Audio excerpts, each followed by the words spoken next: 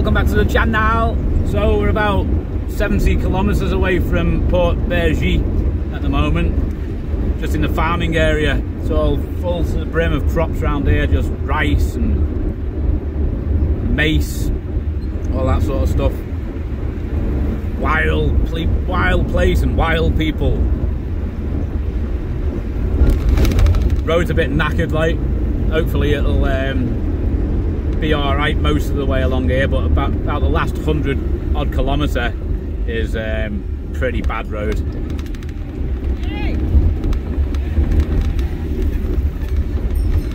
I think there might be um, a market day around here somewhere today. There seems to be a lot of zebu carts going across, going around, cows and carts.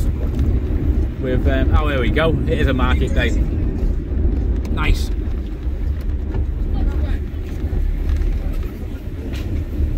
I would stop and buy some stuff because buying like rice and stuff like that around here is a lot cheaper than buying it in um, Nosy Be. Nosy Be, like the price of everything's expensive compared to the rest of Madagascar. So it does it does make sense to um, to buy it a couple of hundred kilometers outside, like but um, being a foreigner, like you just get ripped off on the price. And then obviously to make it worthwhile, you need to buy buy by weight. And then obviously I've got to transport it, which just uses more fuel in the car. So it's kind of a pointless exercise unless you've got a Malagas with you. And I ain't got nobody with me. I'm on my own. Going from Antananarivo to Nosy Be stayed in a hotel halfway last night. I've got about 450 kilometers to drive today. I've done about 80 kilometers so far. It's going to take me all day to drive. Oh, we got a traffic jam going on.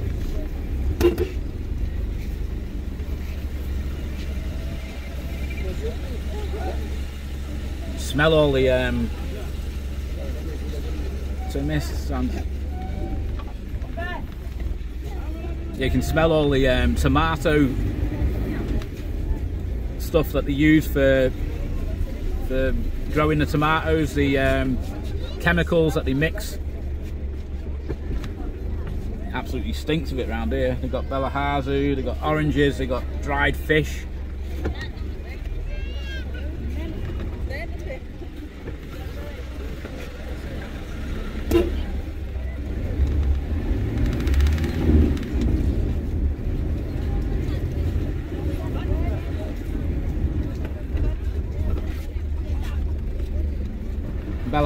Cassava. I speak half in Madagascar and half in English and half in French. So, we've living out, out here for like 10 years and not really associating with very many foreigners or, or English speakers at least.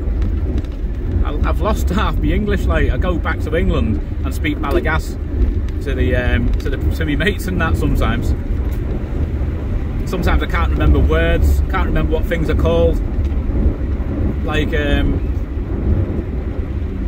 small stones, they're called kayas here. I think it's a French word, but um, I completely forgot what they're called. I think it's gravel, isn't it? Gravel, is that right?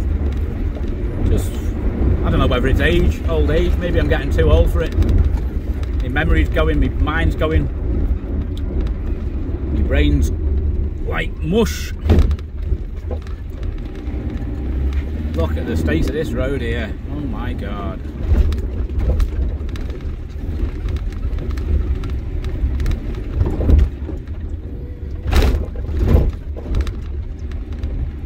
probably about a nine hour drive to do the halfway bit 18 hours total if you drive constantly but obviously long way to drive constantly 18 hours so I, I break it up try and break it up if I can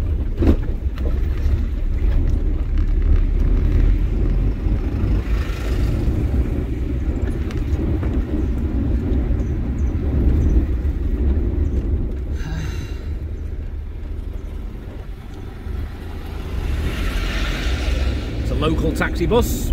They the, um, the, the vehicle, like the Mercedes Sprinters that come from Europe and that.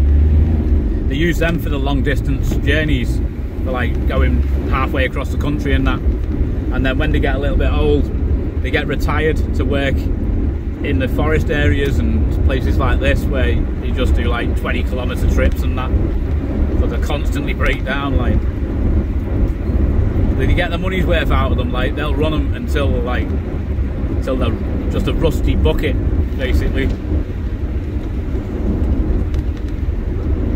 Got up at six o'clock this morning set off. Early start sun was just coming up as I, as I as I left. Can't drive on these roads here like of a night. It's just too much. Like I've done it a few times but uh, some of the some of the some of the bits of road are completely missing so you can be driving along at 60 kilometers an hour and if you don't know the road you can come like literally off the road or into the road because some bits of the road are like one and a half meters deep it's, it's ridiculous like it's expensive to fix um, tarmac roads I know that having a tarmac car park costs a lot of money like to build a road. Chinese are the, are the contractors for the Malagas. They come here, they fix all the roads and then they use those nice new roads to take everything out of the country at cheap prices. Buy everything up, all the rock, all the sand, all the fish, everything. Buy it all and they ship it back to China so obviously it's in their interest to fix the roads. Well, it's busy today on this road, isn't it? Very, very busy. Got cows and everything all over the place. Cows, goats, people,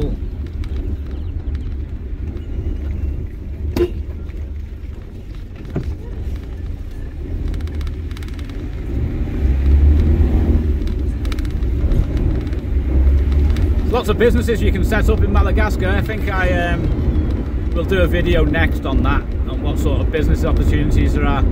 Somebody was asking me about the Samba region, Samba region in, in the north. It's really very similar to this here, as far as I know. I've never been there, but it's it's vanilla country, and there's people there have got serious, serious money, like from vanilla, big, big profits some of the Malagas are driving around in, in Range Rover Sports and all sorts like nice big houses, lots of money, gold dripping off them. Big, big profits in, in vanilla. Madagascar is uh, the number one vanilla producer in the world, makes the best quality vanilla.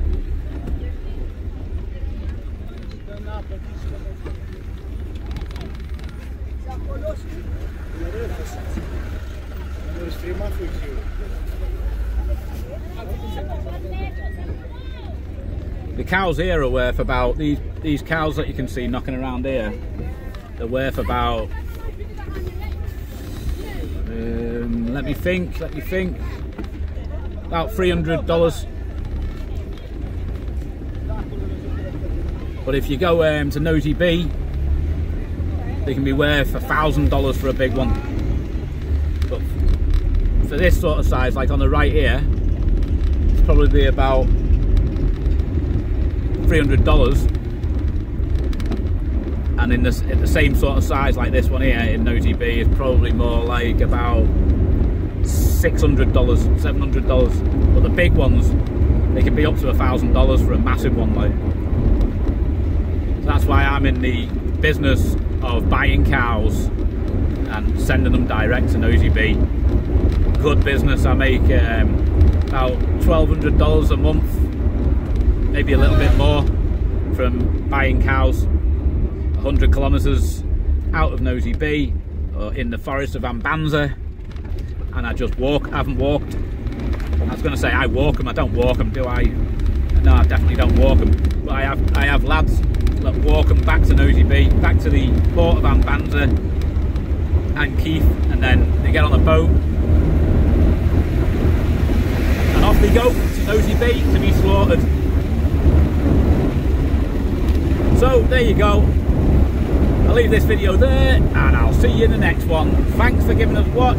Give us a like, give us a sub if you're not already subscribed.